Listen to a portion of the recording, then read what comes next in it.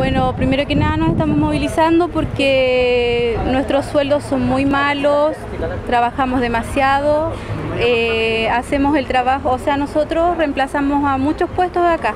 Primero que nada no tenemos guardias, tenemos que hacer aseo, tenemos que hacer trabajo administrativo, tenemos que ordenar, tenemos que cargar, tenemos que abrir cajas, censar, o sea, en realidad hacemos todo siendo que la empresa en, eso, en esos términos está ahorrando a muchas personas. Debería tener, si contamos cada cargo, debería tener como unas 10, 15 personas más.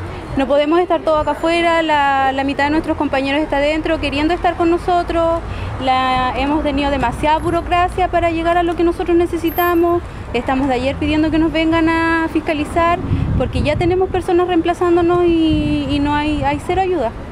En ese tema, demasiada burocracia. ¿La inspección del trabajo qué, ha dicho al respecto? Que están, están esperando una documentación, que sin esa documentación no pueden hacer nada y se supone que nosotros tenemos que respaldarlos con ellos.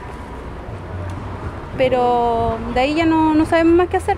Y bueno, y hemos tenido más ayuda y apoyo porque han llegado personas que eh, conocen el tema, porque nosotros realmente eh, lo desconocemos totalmente. Eh, o sea, la empresa no tiene ningún interés en negociar con nosotros ni tampoco en darnos ningún beneficio. Todo el rato llega la gente en la mañana, ayer en la tarde, o sea, todos apoyándonos y súper bien. En realidad nosotros no pensamos bajar los brazos y menos ahora que tenemos más apoyo y que conocemos más el tema. Vamos a llegar hasta el final y, y pase lo que pase, vamos a lograr nuestros objetivos.